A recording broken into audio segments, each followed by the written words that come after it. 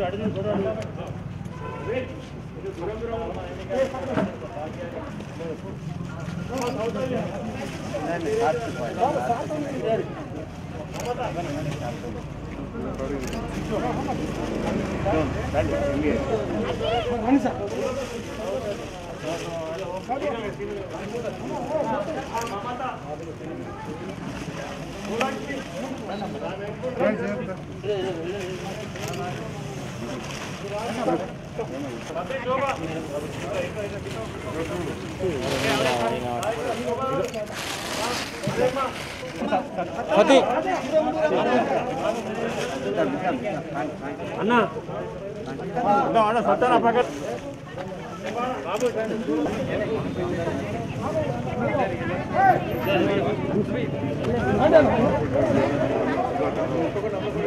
చెప్పాను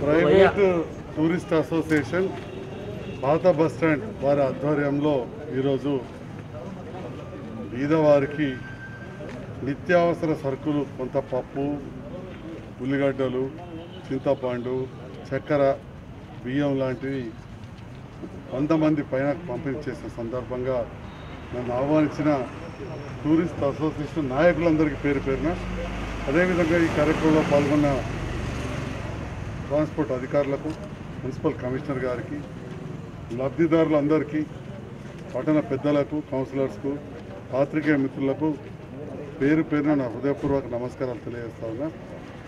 చాలా మంచి కార్యక్రమం ఈనాడు ఈ ట్రాన్స్పోర్ట్ అసోసియేషన్ తీసుకున్నది.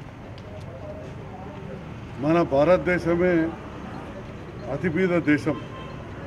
ప్రపంచంలో బీద దేశాలు లేదయా అంటే మన భారతదేశం. ఇది ఇప్పుడు కాదు స్వతంత్రం రాకముందు నుంచి పెడితే ఇప్పుడు స్వతంత్రం వచ్చి డెబ్బై ఏళ్ళ సంవత్సరాలు. మరి ఈనాడు అత్యంత ధనిక దేశాలే అతలాకుతలమవుతున్నాయి కరోనాతోటి ఇక బీద దేశం సంగతి మనము ఊహించలేము వర్ణనాతీతం.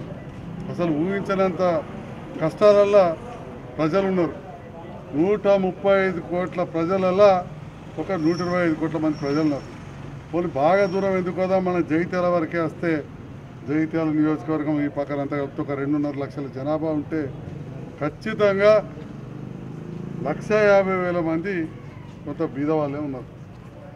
ఇక మరీ ఒక ఇరవై వేల మంది ఇరవై ఐదు వేల మంది అయితే కడుపు మీద వస్తున్నారు ఆ ఈ పూటకు ఆ పూట తినేటోళ్ళు ఒక ఇరవై ఐదు వేల కుటుంబం జనం ఉంటారు.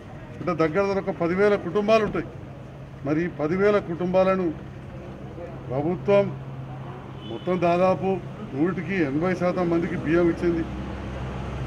కొంత నగదు కూడా సపోర్ట్ చేస్తూ ఉంటుంది. వైద్యపరంగా ఇస్తుంది. కానీ ఇంత చేసినా కానీ కష్టపడి సంపాదించుకొని తినే వాళ్ళకు ఇప్పుడు తిండికి లేని పరిస్థితి ఏర్పడ్డది. బియ్యం ఇచ్చినా కానీ మిగతా సరుకులు లేవు.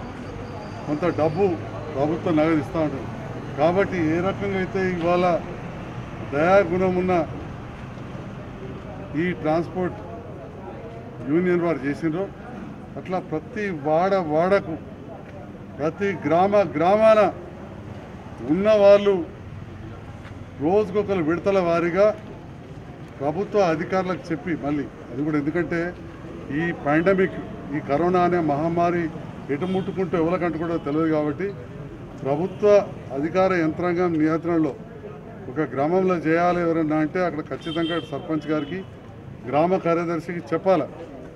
పట్టణంలో చెప్పాలంటే ఖచ్చితంగా మున్సిపల్ కమిషనర్ గారికి లేదా తహసీల్దార్ గారి దృష్టిలో పెట్టాలి. పెట్టిన తర్వాతనే మన ఈ దాన ధర్మ కార్యక్రమాలు కూడా చేయాల్సి ఉంటుంది.